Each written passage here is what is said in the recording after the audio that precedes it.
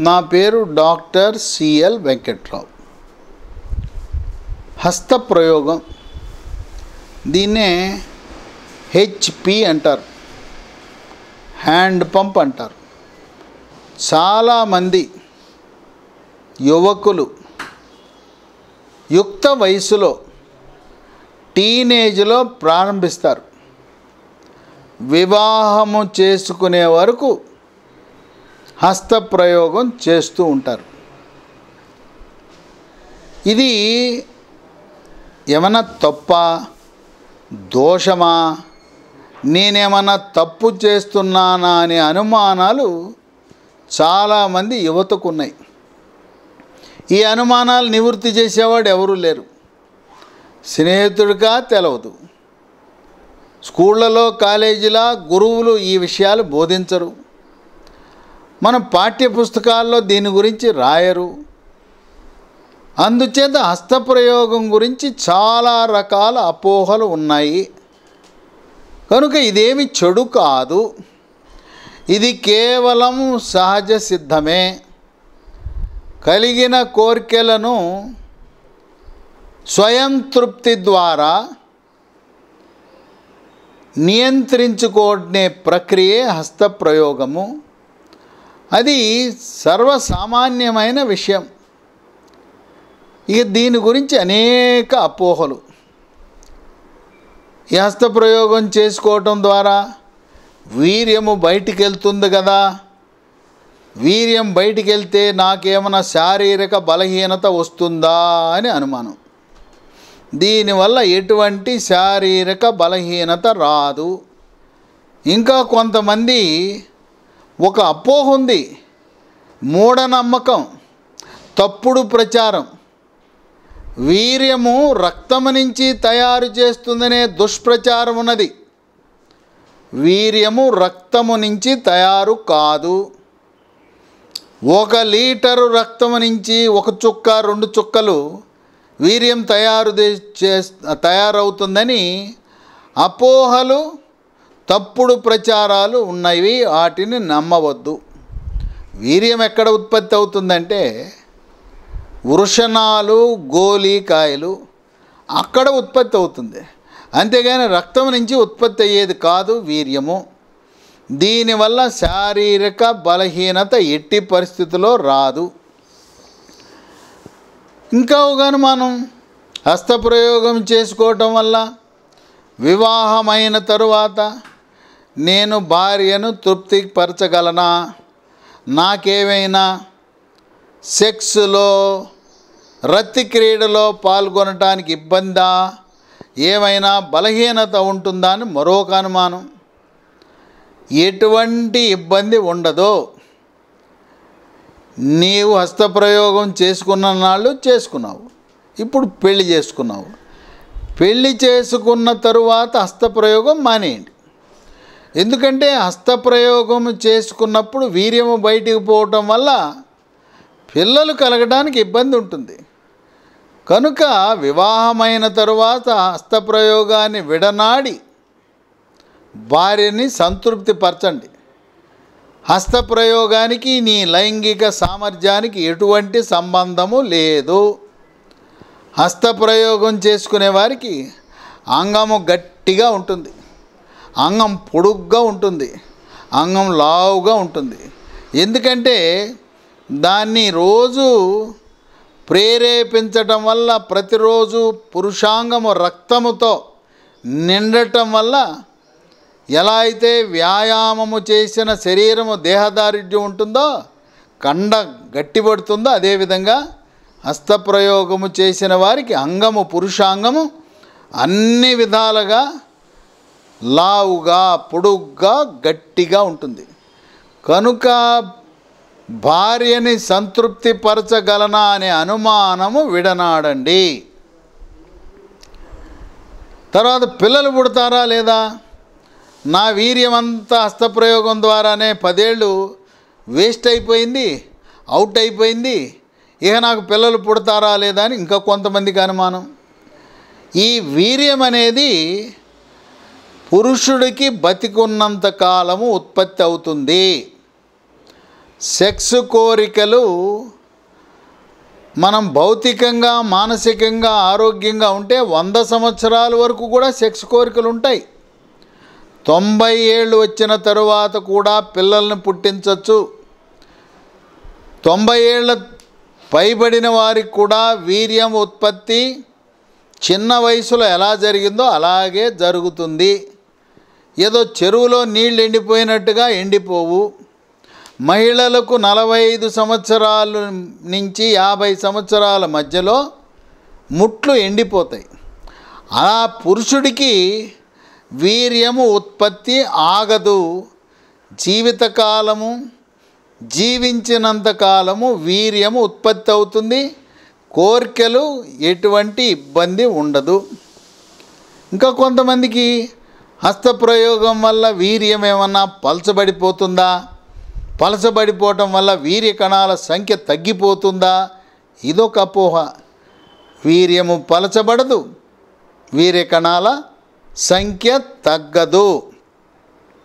ఇంకా కొంతమందికి వెంట్రుకలు రాలిపోతుంటాయి. వెంట్రుకలు రాలిపోతుంటే నేను హస్తప్రయోగం చేసుకున్నా అందుకనే వెంట్రుకలు రాలిపోతున్నాయి.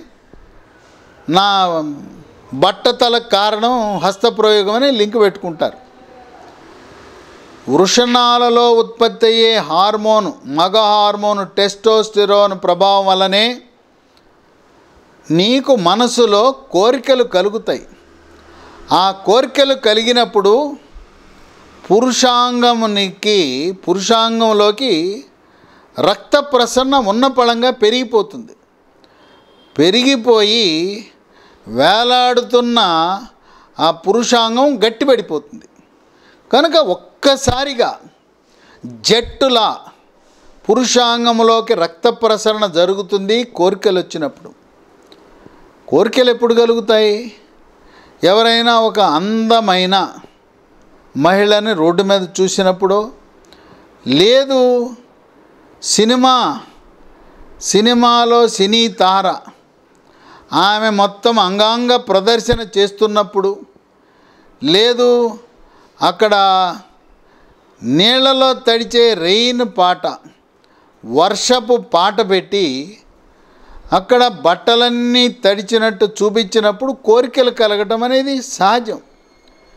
కనుక హస్తప్రయోగం వల్ల ఎట్టి పరిస్థితులలో కూడా కోరికలు తగ్గవు. ఇంకా కొంతమందికి మరొక అనుమానం ఉంటుంది. హస్తప్రయోగం చేస్తే పురుషాంగం చిన్నదైపోతుందా అనే భయం ఉంటుంది. హస్తప్రయోగము వల్ల పురుషాంగము చిన్నది కాదు. ఇంకా అది పెద్దదవుతుంది.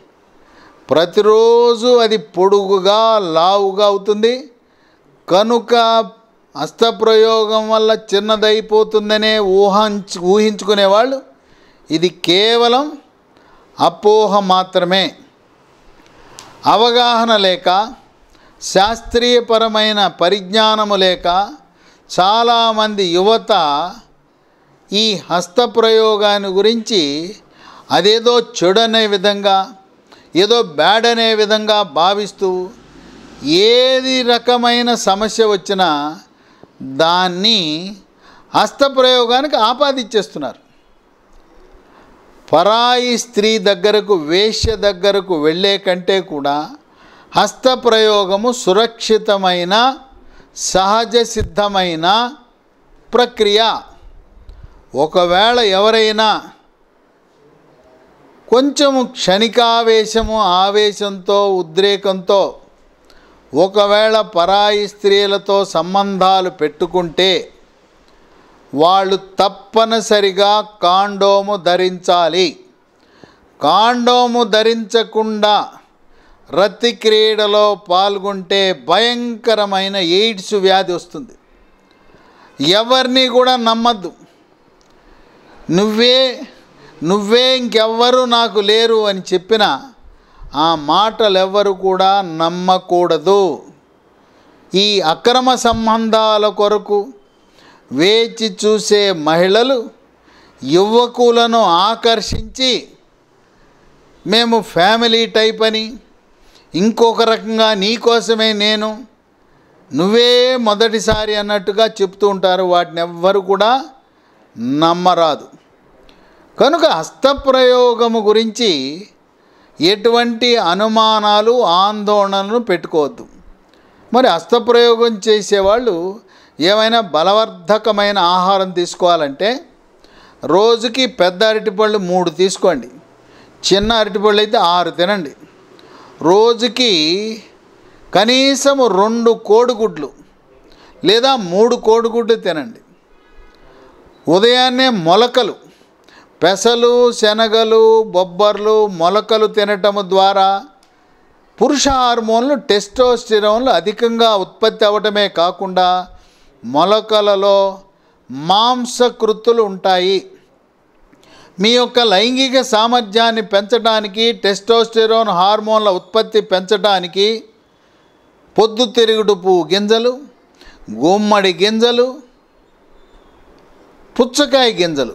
రాత్రిపూట ఒక్కొక్క రకానికి ఇరవై ఐదు గ్రాముల చొప్పున విడివిడిగా నానబెట్టుకొని ప్రతిరోజు ఉదయం తినటము ద్వారా ఈ గింజలు తినటం వల్ల వాటిలో ఉండే జింకు ప్రభావం వల్ల విటమిన్ ఈ ప్రభావం వల్ల ఈ వీర్యం ఉత్పత్తి పెరుగుతుంది వీర్య కణాల సంఖ్య పెరుగుతుంది లైంగికపరమైన కోరికలు పెరుగుతాయి రతి క్రీడలో ఛాంపియన్లుగా నిలబడతారు రతి క్రీడలో ఎక్కువసేపు చేయగలుగుతారు భావప్రాప్తి పొందగలుగుతారు భార్యని తృప్తిపరచగలుగుతారు. ఇవే కాకుండా స్వగృహ ఫుడ్స్లో లభించే సున్ని ఉండలు లేదు ఇంట్లో కూడా చేసుకోవచ్చు. సున్ని ఉండలు నువ్వుల ఉండలు కూడా లైంగిక సామర్థ్యాన్ని పురుషులలో పెంచటములో క్రియాశీలక పాత్ర పోషిస్తాయి. కీరా దోసకాయ టమోటా ఉల్లిపాయ క్యారెట్ బీట్రూట్ పచ్చివే కోసి దానిపై నిమ్మరసము మిరియాల పొడి జల్లుకుని అవి తినటము ద్వారా పురుషులలో లైంగిక సామర్థ్యం బాగా పెరుగుతుంది. కనుక హస్తప్రయోగము చేసుకునే యువకులు పౌష్టికాహారం తినాలి. పాలల్లో కూడా కొద్దిగా పసుపు మిరియాల పొడి తాటి బెల్లం వేసుకుని పాలు తాగటం చాలా ఆరోగ్యకరం. కనుక ఎటువంటి అనుమానాలు లేకుండా మీరు ఏ రకమైన ఆందోళన పడకుండా వివాహానికి సిద్ధం కండి. ఏ సమస్య వచ్చినా దాన్ని హస్తప్రయోగానికి ముడిపెట్టవద్దు. మరి పెళ్ళి అయిన తర్వాత హస్తప్రయోగం చేసుకోవచ్చా అంటే మరి భార్య ఐదు రోజులు పీరియడ్ సమయంలో ఆమె వద్దు వద్దు అన్నప్పుడు ఈయన ఇక తప్పనిసరిగా పెళ్ళైన వాళ్ళు కూడా హస్తప్రయోగం చేసుకోవచ్చు. కానీ పిల్లలు పుట్టడం పూర్తయ్యే వరకు మాత్రం హస్తప్రయోగం చేసుకోవద్దు. వృద్ధులు మధ్య వయసు వాళ్ళు కూడా హస్తప్రయోగం చేసుకోవటం వల్ల ఎటువంటి దోషము లేదు. మరి హస్తప్రయోగం చేసుకోని వాళ్ళ సంగతి ఏంటి? అస్తప్రయోగం చేసుకోకపోతే రాత్రిపూట నిద్రలో అవుట్ అయిపోతుంది. వీర్యం బయటకు వచ్చేస్తుంది. దాన్ని స్వప్న స్ఖలనం అంటారు. ఇది కూడా సహజ సిద్ధమే. అదేదో డేంజర్ అన్నట్టు కాదు. ఈ అనారోగ్య సూచిక కాదు. అది సహజ సిద్ధం. కుండలో నీళ్ళు నిండిపోతే కారిపోతాయి. చెరువులో నిండిపోతే చెరువు పైనుంచి పొర్లిపోతాయి. అలాగే నువ్వు హస్తప్రయోగము ద్వారా వీర్యమును బయటికి పంపని సమయంలో ఎవరైతే యువకులు అసలు హస్తప్రయోగం అంటేనే తెలవని వాళ్ళు ఉంటే వాళ్ళకు రాత్రిపూట ఈ శుక్రము వీర్యము లీక్ అవ్వటం అనేది సహజ సిద్ధము దానిని గురించి ఎటువంటి ఆందోళన వద్దు. హస్తప్రయోగం గురించి అనేక మంది యువకులు ఎంతోమంది ఆందోళన టెన్షన్కి గురవుతున్నారు. మీ అనుమానాలు నివృత్తి చేయడానికి వాట్సాప్లో మీ ప్రశ్నలు తెలుగులో ఇంగ్లీష్లో సంధించండి. నేను మీకు వాట్సాప్లోనే అనుమానాలు నివృత్తి చేస్తాను. Doctor CL Venkatrao nine eight four eight zero double five eight zero six తొమ్మిది ఎనిమిది నాలుగు ఎనిమిది సున్నా ఐదు ఐదు ఎనిమిది సున్నా ఆరు ఎవ్వరూ కూడా హస్తప్రయోగము సంవత్సరాల తరబడి చేశామే.